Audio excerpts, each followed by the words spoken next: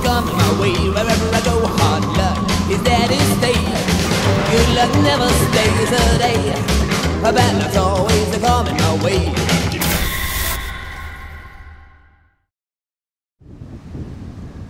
For today's grim adventure, we find ourselves in Pennsylvania, near a town known as Bedford, and a town known as Man's Choice.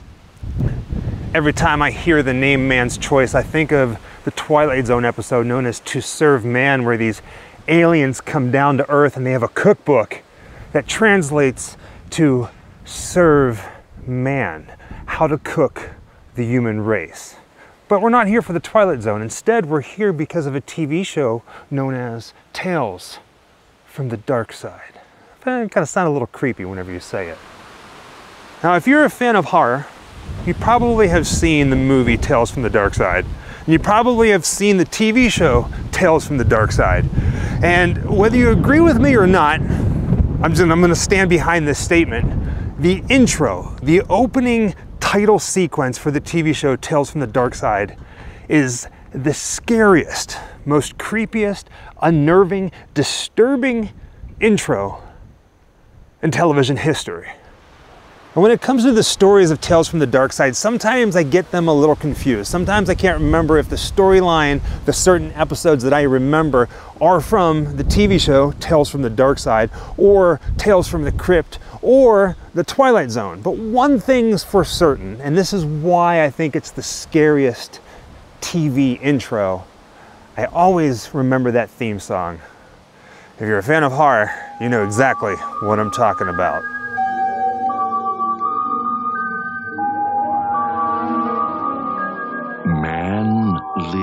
Lives in the sunlit world of what he believes to be reality.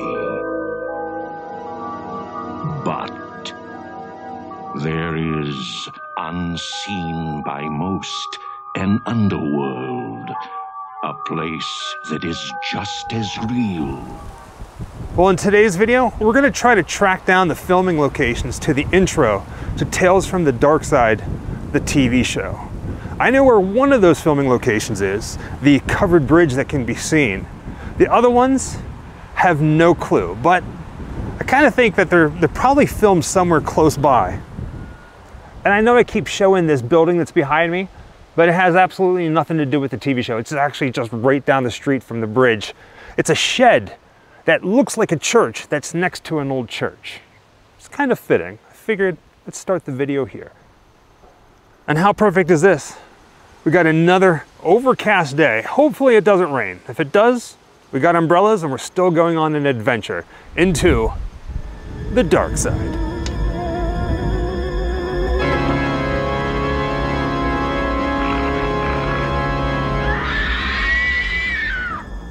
Just look at that sky. This is a perfect day to do this video on Tales from the Darkside. Now where we're heading right now is a bridge known as Turner Covered Bridge. It wasn't always called this. If I'm not mistaken, at one point it was called Diehl's Covered Bridge. You can't drive across it, but you can walk across it. So with that being said, we're parking our car. We're gonna walk back down this road quite some time until we find the bridge. Line up some shots, talk about Tales from the Darkside a little bit more, and then try to find the other locations. Now, when I say try to find the other locations from the title sequence, I'm guessing that they were filmed out here in this area. I mean, there's a covered bridge. Why come all the way out here to just get one shot of the covered bridge? There's a couple other ones. There's a, a street. There's what I call Civil War fences. They're like these wooden fences crisscrossing, and a farm. So we're gonna drive around and try to find all that. So when it comes down to it, what made Tales from the Darkside, the TV show, great? Aside from the music and the really cool intro to the show itself, especially since the production really didn't have that much money to build sets and go on locations. In fact, it's been said that the people behind Tales from the Darkside spent more time focusing on creating a great story than money for the sets and production. And it really shows because a lot of them, when you go back and watch the TV show itself, a lot of it takes place in like one, one or two rooms or three different rooms, and then they would recycle them and reuse them for the next episode. Just being out here, it's nice and refreshing. Now you can see the bridge from the road and driving down this way once we got off the turnpike out into the actual woods you pass a whole bunch of different farmhouses and I looked very closely at each one getting to where we are right now and I haven't found the farmhouse from the opening but we're gonna go look for it in just a little bit.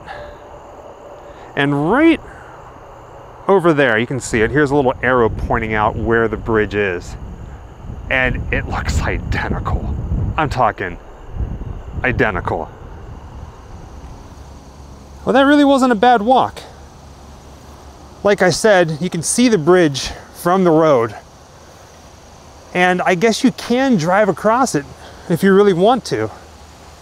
I read online that they don't recommend it because it is old. It's a piece of history. But if you really wanted to drive across, you can. I personally recommend parking and making the walk. It's worth it just for the experience.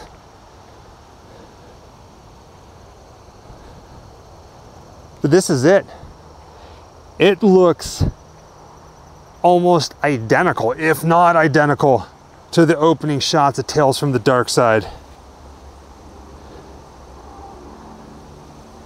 Man, that's cool. You know we gotta walk across it, right? Oh man.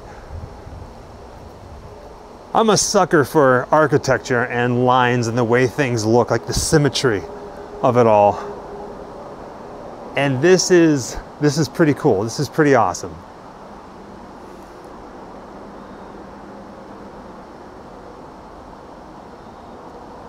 Uh, in the opening shots for the TV show, when they show this bridge, they also show a shot looking down the creek or the crick, depending on where you are in the country, you say it differently. Here, I say creek.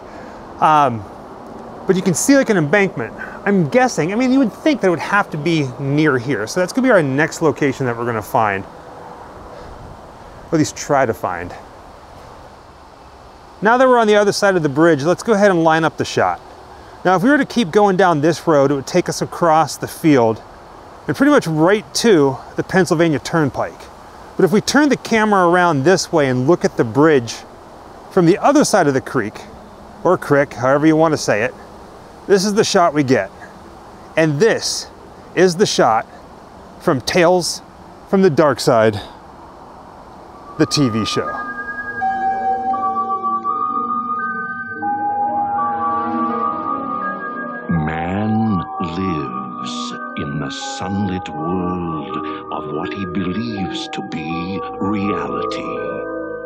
Man, this is cool. And I never noticed this until now, but in the TV show, when you see this bridge, it's kind of dark. It's in the shade, like it's in the dark side. But if you look way off in the distance on the other side of the bridge, you can see the fields with the sun shining down on it, kind of like here. I don't think it was intentional, but it's kind of cool, right? Looking at it like that. I might be wrong, but years ago, I could have sworn that I went online and I found the other locations to the opening shots, the opening sequence. Looking at it now in preparation for coming to Pittsburgh, this is the only one that I was able to find. And everything else, there's no mention of it. But right after this scene, you get a close up shot looking down the creek, across the water, and there's rocks. That's not here. Don't know where that's at.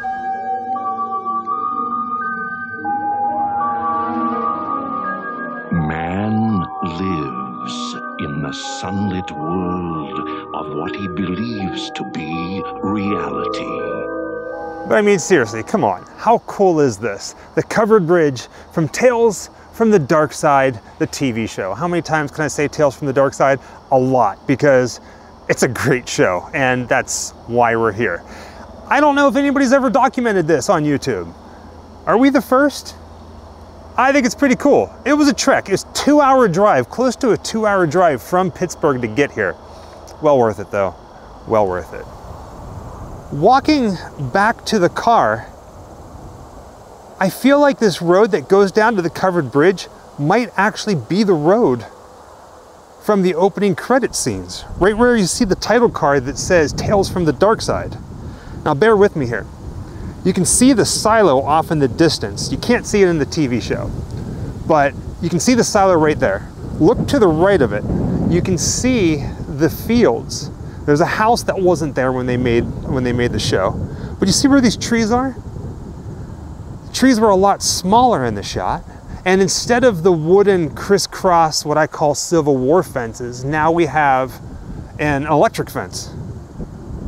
This could be it. Not as brightly lit. A dark side.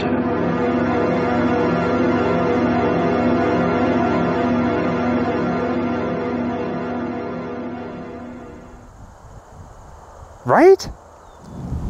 I know I'm going out on a limb here, but it kind of does make sense. If you're going to bring a camera crew all the way up here from Pittsburgh to film a covered bridge, you would want, from a financial point of view, from production point of view, from moving equipment around, stay as close to wherever you're filming as possible. You don't want to film here and then drive five miles down that way and get a shot of a creek or anything like that. So I think this is the street. And it would make sense because going further down the street, I'm gonna turn this way, you can see the covered bridge down there. And then right over here is a new building. Now, this is a dairy farm. Pretty sure it's a dairy farm. But what if back then the old farm that we're looking for was torn down and this was built in its spot? Right? It makes sense. I mean, this is the best that I got. I found the bridge. Yeah, this is cool. I'm going with it. I'm going with it. The name of the road that's in question is known as Faupel Road, F A U P E L. But I think this is it. It makes the most sense to me.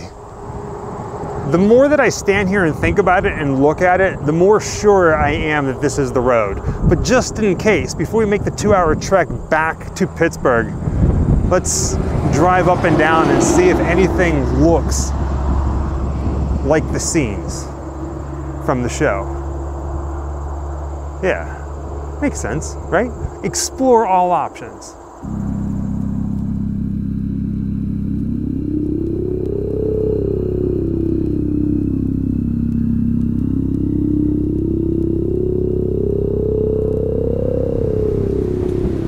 Back up here on top of the hill, next to the church in this really cool building. I'm in love with this building. Again, it's just a shed that's made to look like the church.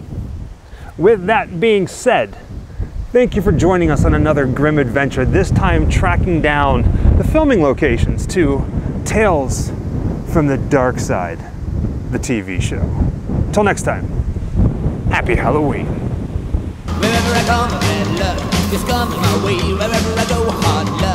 Luck is coming my way. Wherever I go, hard luck is there to stay. Good luck never stays a day.